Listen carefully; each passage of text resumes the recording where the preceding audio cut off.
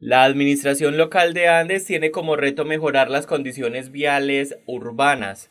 Durante las últimas semanas se habilitó el paso por la plazuela de Santa Rita. La plaza nos quedó muy bonita, encantarillado nuevo, muy bonita. Eso, pues, un, eso está futuro, muy bonito. Pero lo que no tenemos es vía. Ojalá, ojalá subieran de, aquí para arriba, como es Santinés, Santa Rita, San Agustín, San Pedro, que la carretera está muy mala. Ah, muy buena, excelente porque anteriormente estaba muy mala, pero gracias a Dios ya está mejor. Sí me gustaría que también arreglaran como ya saliendo de acá de, la plazuela para allá, eso está demasiado mal, horrible. Pero esto aquí me parece muy bueno, quisiera que siguieran hasta allá para que todo quedara bueno.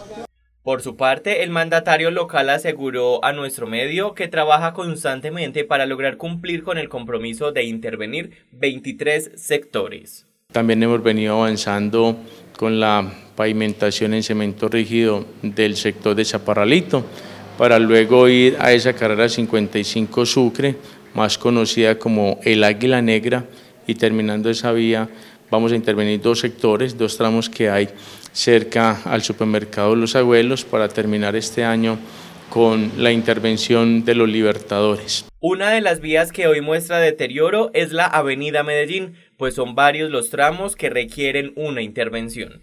Pero el mandatario mencionó que esta zona por ahora es imposible de mejorar. Cuando nosotros presentamos el proyecto a la gobernación de Antioquia de Parques del Río, contemplamos dentro del presupuesto el mejoramiento de la vía de la avenida Medellín. Con ello quiero decir que desde el municipio no puedo hacer otro proceso porque estaríamos incurriendo presuntamente en un detrimento patrimonial porque ese presupuesto ya está aprobado por parte de la gobernación de Antioquia. Otras vías que se proyectan intervenir son la carrera 49A o la calle cerca a Upán la calle 48 o más conocida como la calle de las Gallones y las calles aledañas al parque principal.